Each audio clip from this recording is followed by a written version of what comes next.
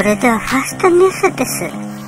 マレーシアのレストラン、体型によって割引します。マレーシアのレストラン、蒙古大寺はとても変わったサービスを行っています。体型によってディスカウントの割引が異なるそうです。細ければ細いほど割引率が増えるシステムになっています。体がどの隙間に入れるかでディスカウントのパーセンテージが決まり会計時の金額から引かれます。究極に細い人は100%のディスカウントになるので無料になります。ファンク一番でかいサイズ。嘘。えー、ファンク割引じゃないってこと？先生マレーシア君がいけないことしてます。見た目だけで判断するとか人として最低なことをマレーシア君がしてます。先生これはちょっと私許すことができません。養成会の学級委員ことファンクは許さないわよこんな。いや高いじゃんファンク払うの。要はみんなの分払ってるようなもんじゃない。こんなの先生ファンクは許せません。まあ世界的に肥満税なるものがね横行してんのよ。ちょっとこれねなんか抗議しますルーマニアの場合ね2010年にジャンクフードめっちゃ高くなってんのよ。これ高いのよすごく。デンマークではねあの何中和脂肪酸？2.3%含まれている食品。だから例えば油っぽいものとか。めっちゃ高くなったんや。バターやピザ肉牛乳。ピザはやめてちょうだい肉も。バターもやめて。うん牛乳。じゃあ聞きたいけどさふ菓子？どうやって食べんのよ。牛乳ないと美味しくないでしょうよ。あとあの白くてなんていうのあのポップコーンがでかくなったようなやつって甘いやつあるじゃん。あれも牛乳ないと美味しくないじゃん。ねえ。ハンガリーなんか砂糖と塩の多い食品風邪とか例えばポテトチップスとか。いやありえんよ。疲れて家で帰ってきて今日は疲れたなってコーラ飲みながらのポテチでしょ何勝手なことしてくれてんの？フランスではさ砂糖とかがついた？飲み物例えば炭酸水がダメなの？だからコーラダメなの、うん、ソーダ税とかもあんのよ。三ツ矢サイダーブチギレよ。えなんで暑い時にさ家帰ってきてお風呂出た後の三ツ矢サイダーでしょうよ。ねえ。続いてアメリカのカリフォルニア州バークレー州とペンシルバニア州フィアデルフィアあとポルトガルイギリスあとタイフィリピンも。なんかね甘味料の添付ってる？飲み物ね。税金高くねついちゃうのよ。だからね購入するときめちゃくちゃ高いんだって。やめてくれや。これ世界的な流れになる。と必ず日本やるでしょ、う、ちょっとさ疲れた時のコーラの美味しさを知ってほしい。ああもう気が疲れたもうやってられあ自販機あコーラが目に入ったあもう飲まなきゃって。で飲んだ時の何あの一瞬ね雲の上を飛んでるようなふわっと、うん、そのふわっとをね知ってもらいたい、うん、疲れが飛んでっちゃうのよ、うん、だからね世界的な流れで肥満税が上にやめてほしいな。絶対日本やるもん。そこのところほんと頼むわ。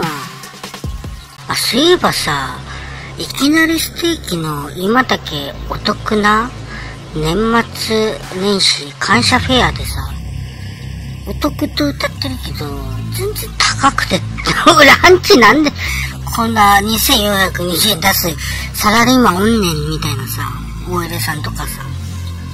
盛り上がってんのよ。高いんじゃって。えー、いきなりステーキ高くなったね。だって 200g のセットはランチでさ誰がさ2400円出すのよ。高いわ。それでサラダスープライス付き。これあの1回限り。おかわり1回なんでしょ？うーん。これだったらステーキ専門店のランチ行った方が安いんじゃない？1000円ちょいで食べれるじゃん。しかも 400g とか。倍よ。それでねえおかわり自由のあのライスとか。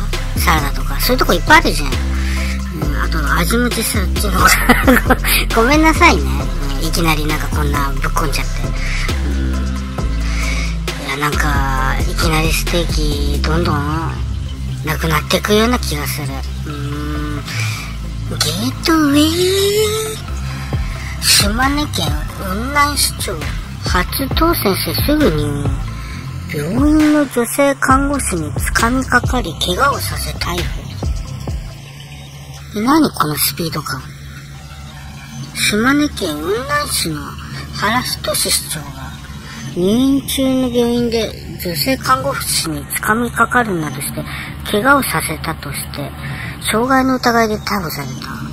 原市長は16日午前7時前入院中の出雲市内の病院で28歳の女性看護師に掴みかかるなどして首や耳に怪我をさせた。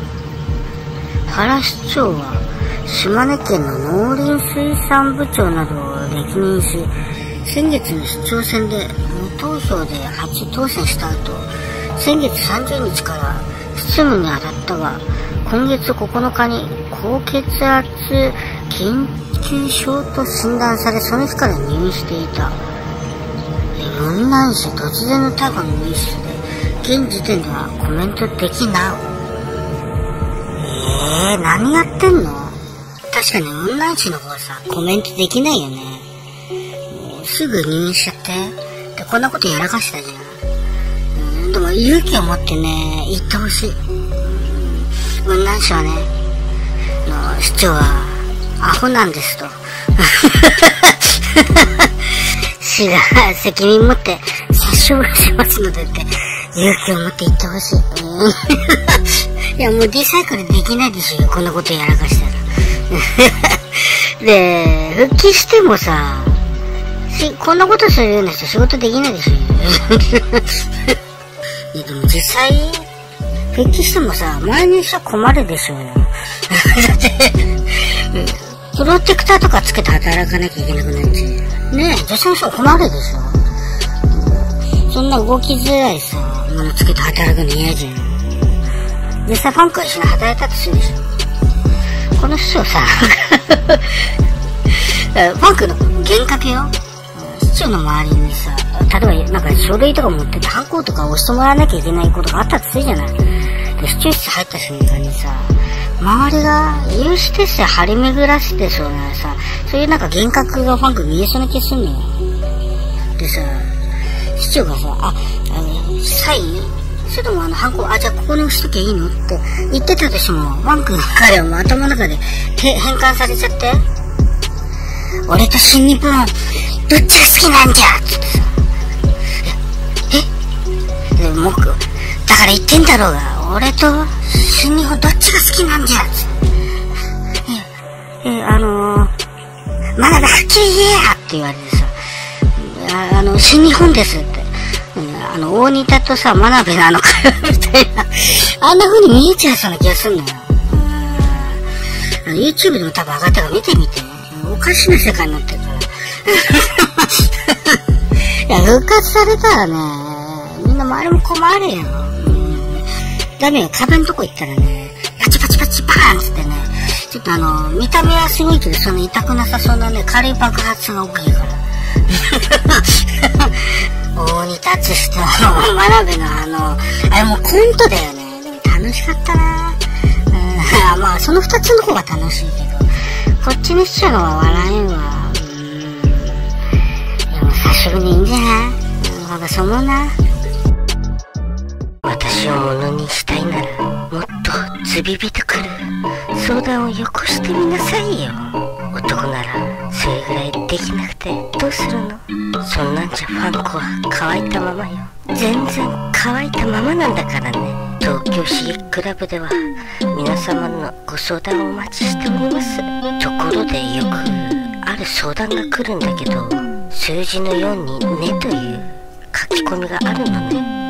あれってかしら。